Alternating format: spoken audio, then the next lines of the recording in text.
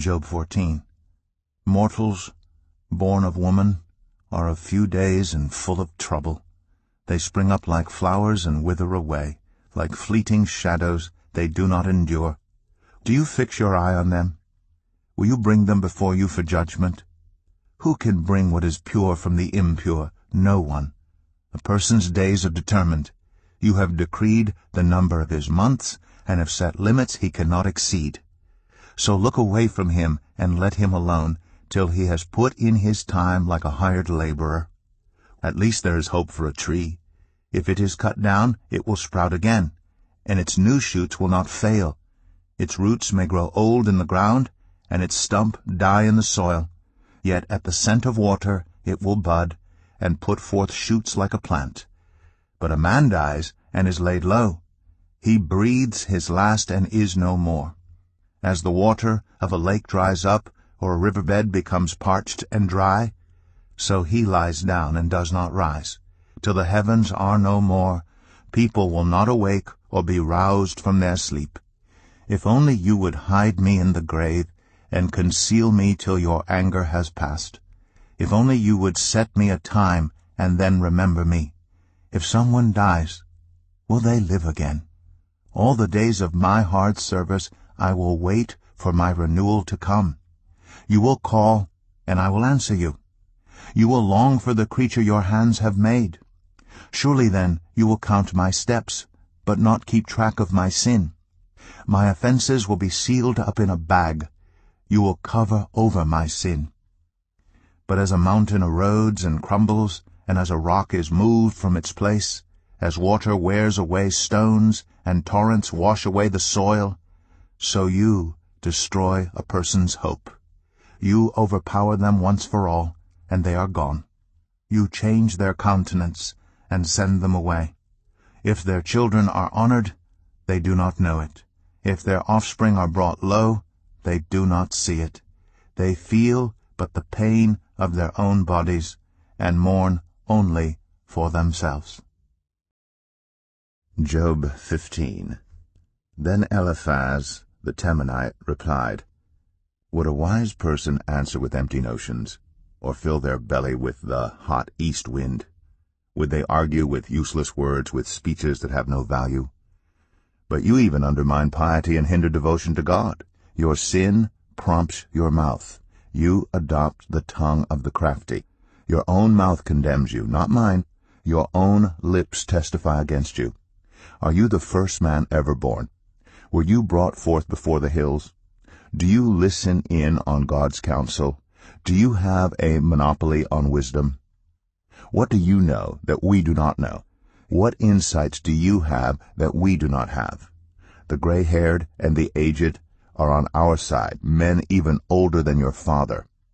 Are God's consolations not enough for you, words spoken gently to you? Why has your heart carried you away, and why do your eyes flash, so that you vent your rage against God and pour out such words from your mouth? What are mortals that they could be pure, or those born of woman that they could be righteous? If God places no trust in his holy ones, if even the heavens are not pure in his eyes, how much less mortals, who are vile and corrupt, who drink up evil like water? Listen to me, and I will explain to you. Let me tell you what I have seen, what the wise have declared hiding nothing received from their ancestors, to whom alone the land was given when no foreigners moved among them. All his days the wicked man suffers torment, the ruthless man through all the years stored up for him. Terrifying sounds fill his ears. When all seems well, marauders attack him. He despairs of escaping the realm of darkness. He is marked for the sword. He wanders about for food like a vulture. He knows the day of darkness is at hand. Distress and anguish fill him with terror. Troubles overwhelm him like a king poised to attack, because he shakes his fist at God and vaunts himself against the Almighty, defiantly charging against him with a thick, strong shield. Though his face is covered with fat, and his waist bulges with flesh, he will inhabit ruined towns, and houses where no one lives, houses crumbling to rubble. He will no longer be rich, and his wealth will not endure, nor will his possessions spread over the land. He will not escape the darkness, a flame will wither his shoots, and the breath of God's mouth will carry him away. Let him not deceive himself by trusting what is worthless, for he will get nothing in return.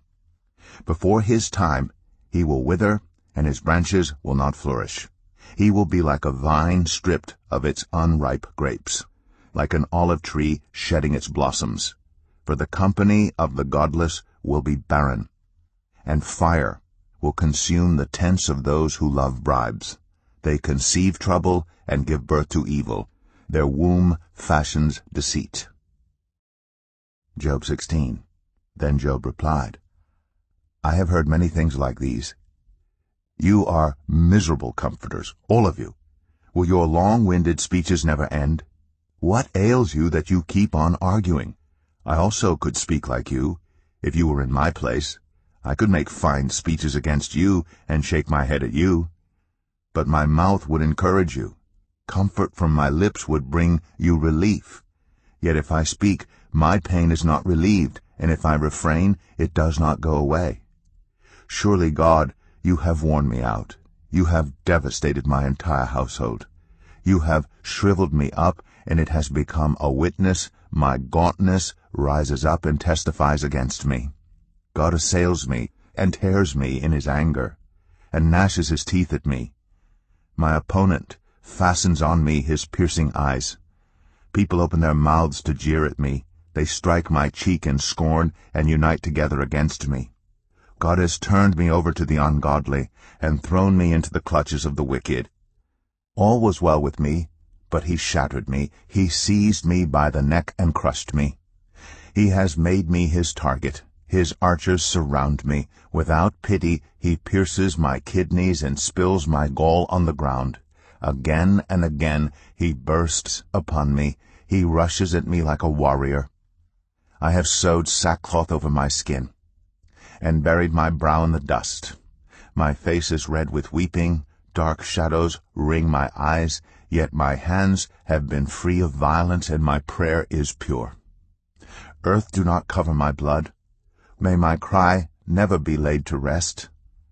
Even now my witness is in heaven, my advocate is on high. My intercessor is my friend, as my eyes pour out tears to God. On behalf of a man, he pleads with God, as one pleads for a friend. Only a few years will pass before I take the path of no return.